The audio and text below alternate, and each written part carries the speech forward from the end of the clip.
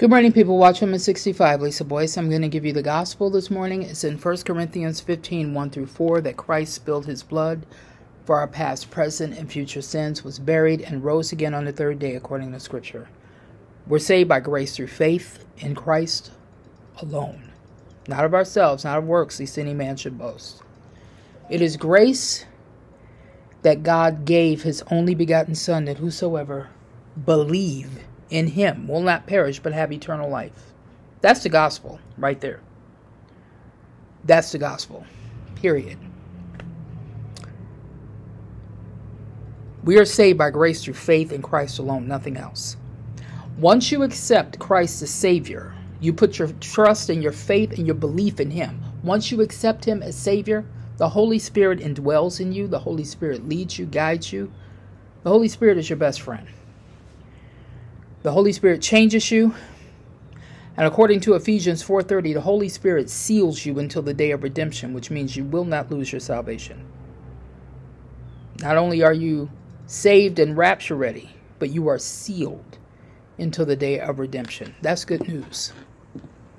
Which means you won't lose your salvation. I got to come on, I got to give you this article off of uh, Dave Hodges. It says here Sleepy Joe may have abandoned California school children in Afghanistan. Now, I had heard about this. I didn't know this until Tuesday that there were children, literally, uh, U.S. children, school children over there. These kids are from um, California. California school children in Afghanistan, but he can rescue 200,000 terrorists from the Middle East and bring them to America, which is exactly what has happened. Sleepy Joe may be leaving children from El Cajon, California behind in Afghan. However, he's having no trouble importing an estimated 200,000 terrorists from the Middle East. It is clear that the following evidence uh, trail that the Dopey administration is, impor- is uh, importing large number of terrorists from the Middle East who have very bad intentions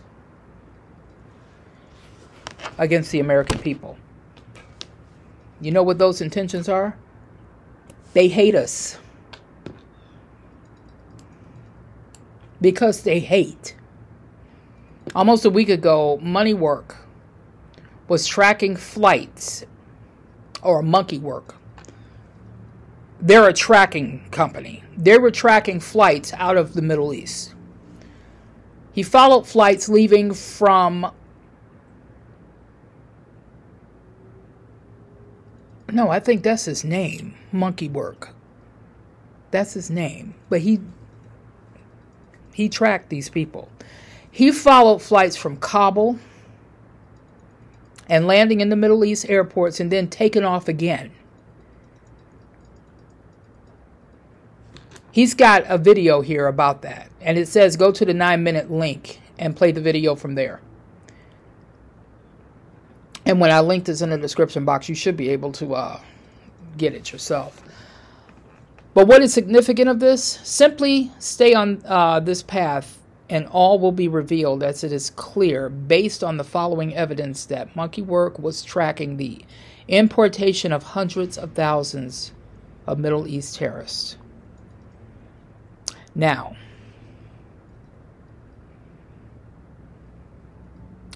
Paul Preston, con- he goes on to say, Paul Preston contacted me last week with direct information regarding the fact that hundreds of thousands of Middle East terrorists are being flown from Dulles and surrounding airports.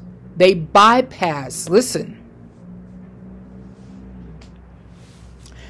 they're bypassing security, customs, and placed on outbound flights to various American military bases, including but not limited to Fort Hood, Fort uh, Bliss, Fort Bragg, Fort Lewis, and a couple others. These arrivees are, listen to this, they're paperless. They can't even be vetted And the majority are not from Afghan. I had said, and I'm going to repeat this, this bears repeating. I had told people in a couple of videos that everything was going to happen at once. You know what's funny about this? The closer we get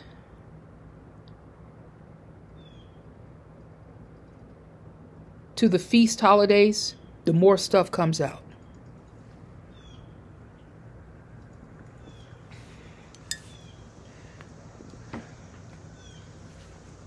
The more stuff is coming out. And it's coming out by the minute. I'm going to re- reread this. These arrivees, these people, are paperless, they cannot be vetted, and the majority are not from Afghan.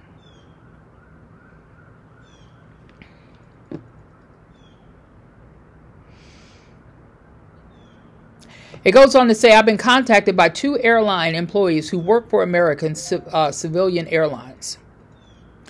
We know that the government uh, commandeered civilian airliners to facilitate the hastening of the evacuation of the people at the Kabul airport.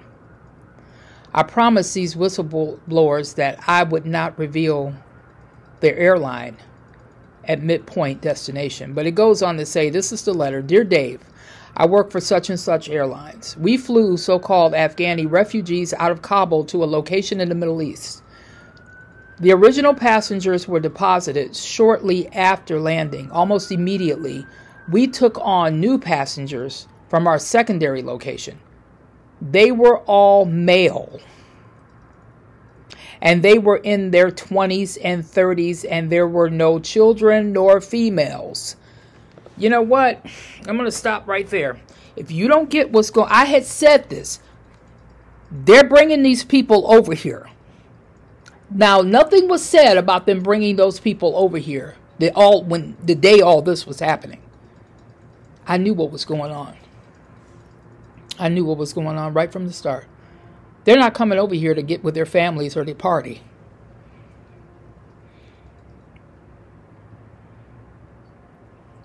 I said it yesterday.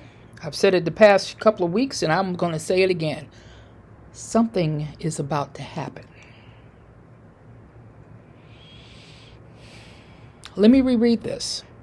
The original passengers were deposited shortly after landing. Almost immediately, we took on new passengers from our secondary location. They were all male, they were in their 20s and 30s, and there were no children, there were no females.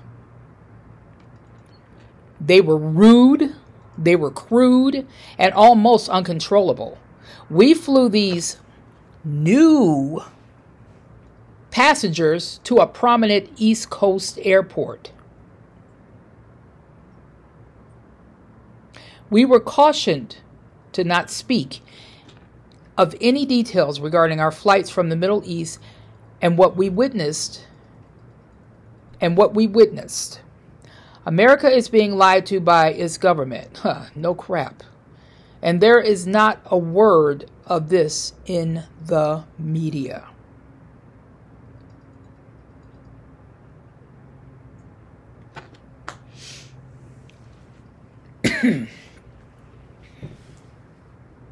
Let that sink in for a minute. It goes on to say, please note that we know that Southwest Airlines and American Airlines were pushed into duty under federal emergency status.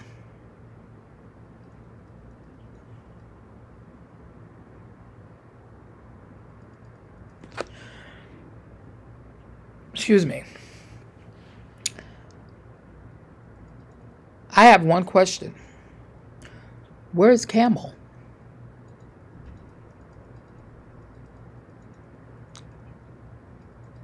And where's the Americans? Something's going to happen. Something's about to happen. It's it's plain and simple.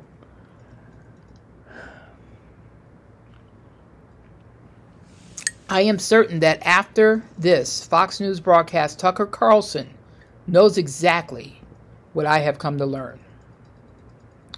Afghan refugees are being deposited in various Middle East airports, and terrorists are boarding planes headed to America.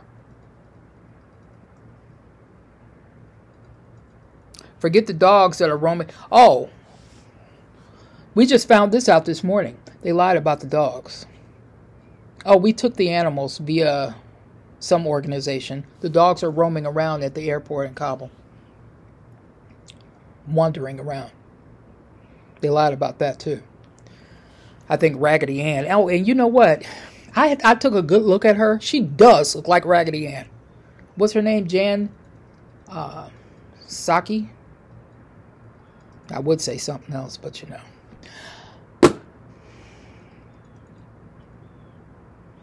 I recently interviewed Sarah Westall, and it would strongly appear that Sarah has much of the same information that I have. Middle East terrorists in great numbers are being flown into the United States. Folks,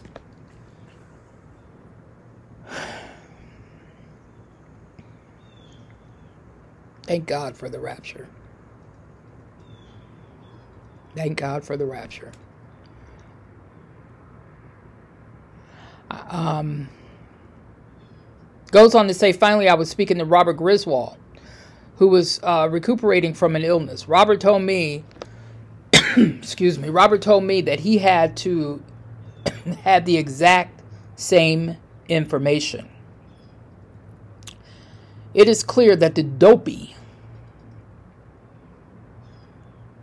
administration is performing the great switcheroo and substituting legitimate Afghan refugees with hardcore Middle Eastern terrorists who mean us harm. Griswold said the targets of these terrorists will primarily be infrastructure related. I have something very frightening to uh, add here. Don't be surprised if another 9 11 happens.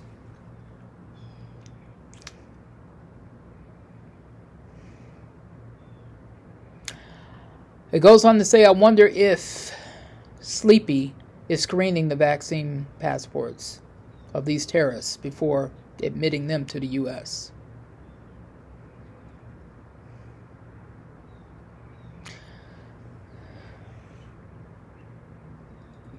We're not going to be here. The church is not going to be here. But I'm going to tell you something. This nation won't last under this administration. There's no way. This is a perfect opportunity for the Antichrist to come on the scene and make his way. The church, like I said, and like I've been saying, the church is getting ready to rapture. If you don't believe it, hmm, well, let me just read it to you again so that you'll know. We're getting ready to take off. And woe are those who are left here to deal with this things are getting ready to take off. I, am telling you, it's going to happen all at one time. Someone asked in the comments yesterday, well, how do we know it's a rapture? First of all, you need to read your Bible, starting in First Thessalonians, and look at this. First Thessalonians 3 14. No, it's 4 414. For if we believe, there's that word again, believe that Jesus died and rose again, even so them which are asleep in Jesus will God bring with him. For this we say unto you by the word of the Lord, that we which are alive and remain unto the coming of the Lord shall not prevent them which are asleep. For the Lord himself shall descend from heaven with a shout, with the voice of the archangel, and with the trump of God, and the dead in Christ shall rise first. then we which are alive and remain shall be caught up together with them in the clouds to meet the Lord in the air, and so shall we ever be with the Lord. Wherefore, comfort one another with these words. Now that's First Thessalonians. Let me tell you what Second Thessalonians say. Now First Thessalonians talks about the rapture. So this is going in order, right? So, Second Thessalonians 2 says, For the mystery of uh, iniquity doeth already work. Only he who now letteth will let until he be taken out of the way. And then shall that wicked be revealed, whom the Lord shall consume with the spirit of his mouth and shall destroy with the brightness of his coming. Even him whose coming is after the working of Satan with all power and signs and lying wonders, and that and with all deceivableness and unrighteousness in them that perish, because they receive not the love of truth, that they might be saved. First Thessalonians is first, which is the rapture. Second Thessalonians is second.